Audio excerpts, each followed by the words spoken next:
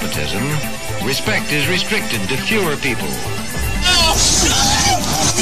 That's veteran Denver police officer Charles Jones IV smashing an unarmed suspect in the face six times. Officers accused of using excessive force on a suspect and then trying to erase the evidence. I'm, I'm observing what they're doing and they're arresting me. I don't understand what's going on. A community rates low on an information scale when the press, radio, and other channels of communication are controlled by only a few people.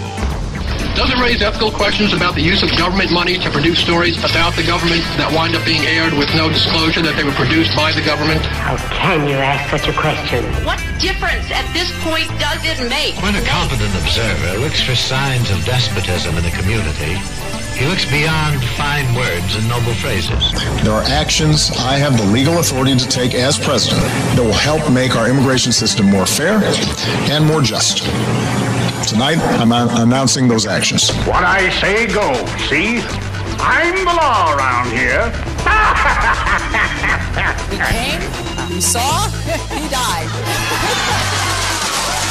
yes, in modern warfare, our military leaders are finding that words and ideas are highly effective weapons. We just have to be repetitive about this. We need to do this every day of the week and just really brainwash people into thinking about guns in a vastly different way.